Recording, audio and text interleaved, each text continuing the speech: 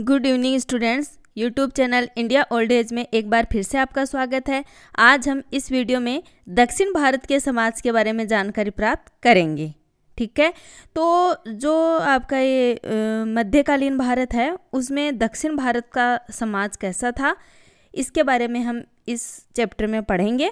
और इससे पहले भी हमने दक्षिण भारत के बारे में कई वीडियोस बनाए हैं तो आप प्लेलिस्ट में जाके और दक्षिण भारत के बारे में जानकारी प्राप्त कर सकते हैं।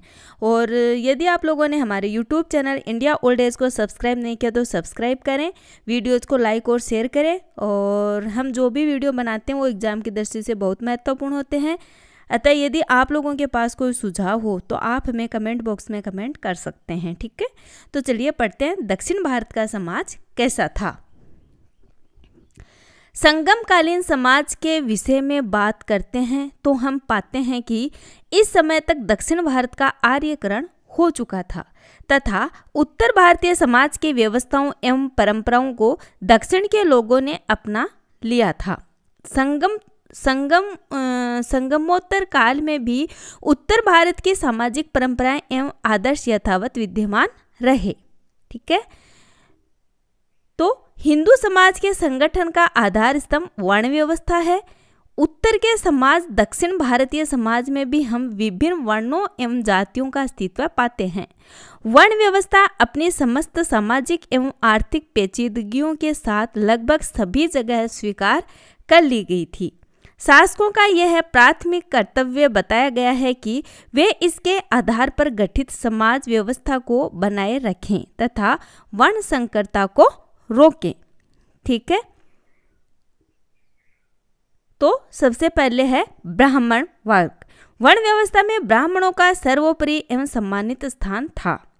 यद्यपि लिंगायत जैसे कुछ संप्रदायों ने ब्राह्मणों की श्रेष्ठता को चुनौती दी, किंतु इसका विशेष प्रभाव नहीं हुआ तथा सामान्यतः लोगों की आस्था उनमें बनी रही।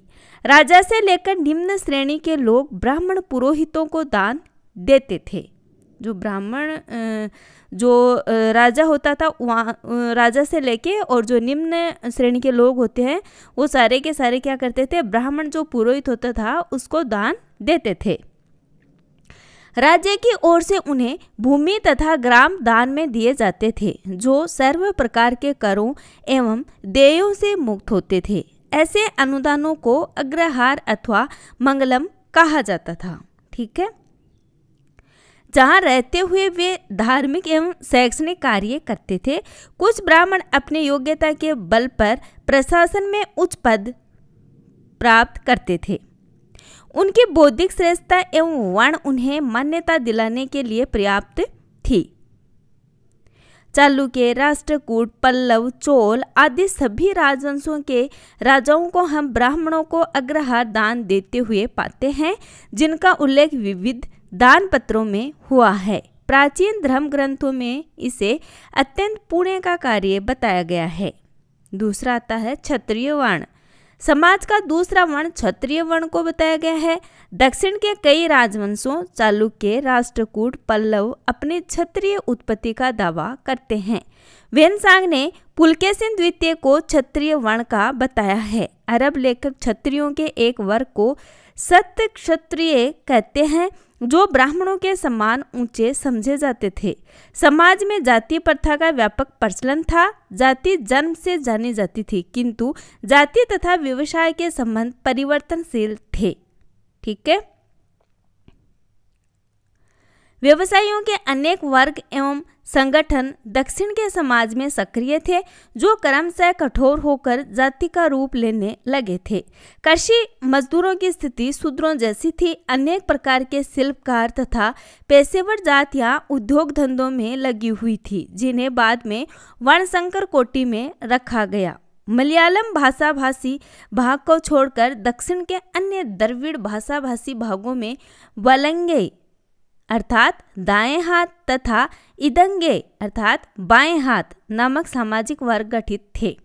इनकी भी अनेक उपशाखाएँ थी। लेखों में इनके अठानवा अठानवा वर्ग बताए गए हैं। बताया गया है कि इन्होंने ब्राह्मणों, बेलालों, अधिकारियों, सामंतों आदि के अत्याचारों के विरुद्ध लड़ने के निमित्त अपना संयुक्त मोर्चा बनाया था। वैश्यों की स्थिति में गिरावट आई तथा उन्हें शूद्रों के साथ समेट लिया गया। अब आता है महिलाओं की स्थिति। तो जहाँ स्त्रियों की दशा का प्रश्न है, हम दक्षिण के विभिन्न राजवंशों की महिलाओं को शिक्षित पाते हैं। कुछ रानियाँ अपने पतियों के साथ मिलकर शासन चलाती थी तथा दान अर्थात अग्रहार देती थी। कुछ महिलाएँ युद्ध में भी भाग लेती थी, समाज में बाल विवाह का प्रचलन हो गया तथा सामान्यतः कन्याओं का विवाह है, बारह वर्ष की आयु में कर दिया जाता था। दक्कन में सती प्रथा का प्रचलन नहीं था, पर्दा प्रथा प्रचलित नहीं थी। अरब लेखों के विवरण से पता चलता है कि राष्ट्रकूट दरबार में विशेष अवसरों पर महिलाएँ भी आती थी तथा पर्दा नहीं करती थी। अमोघ वर्ष की पुत्री चंद्रवल्लभी को कुछ समय के लिए रायचूर दोआब का प्रशासक बनाया गया था। अलोम विवाह प्राय नहीं होते थे, सजातीय विवाह अधिक अच्छा माना जाता था। बहु विवाह प्रचलित था। राजा कुलीन तथा सामंत वर्ग के लोग कई पत्नियाँ रखते थे। मार्को पोलो पांडे राजा की 500 पत्नियों का उल्लेख करता है। स्त्रियों को धन संबंधी अधिकार की मान्यता दे दी गई। पति की मृत्यु के बाद विधवा को उसकी संपत्ति में अधिकार होता था। विविध प्रकार के विवाह है।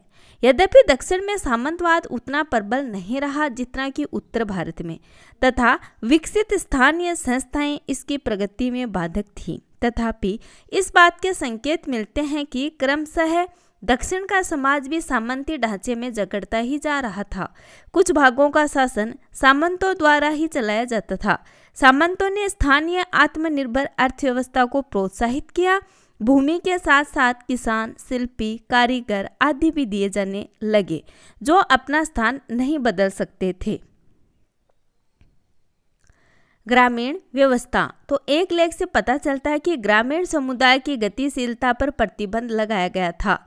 बताया गया कि ग्राम छोड़कर जाने वाले महासभा के विरुद्ध अपराध करेंगे तथा गाँवों को नष्ट करने वाले समझे जाएँगे। ग्रामाचार, ग्राम धर्म, स्थानाचार आदि के पालन पर बहुत बल दिया जाने लगा।